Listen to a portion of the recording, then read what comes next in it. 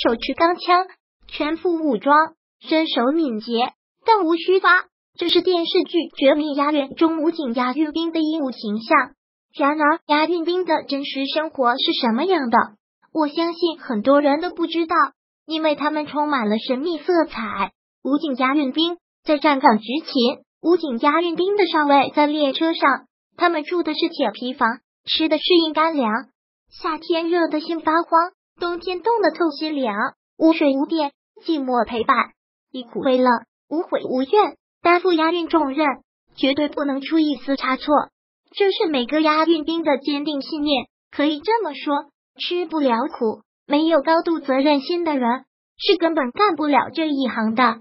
突围武警押运官兵在货车内搭建卧铺，执行任务途中，他们要在这里吃喝、睡觉、执勤。在列车出发前，官兵们会预先购置好饮用水和食品。由于条件有限，补给困难，每日生活用水官兵们都是定量提供。至于食品，也多以干粮、方便面为主，艰苦程度可想而知。每次执行任务，工作人员都会认真检查，做好出发前准备。押运是一项极为艰苦的任务，路途遥远，时间漫长。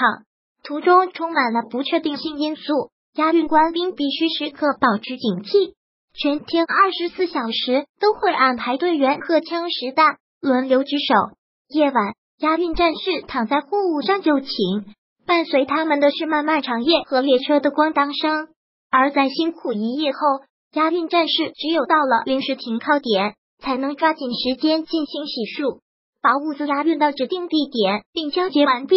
战士们的任务才算完成。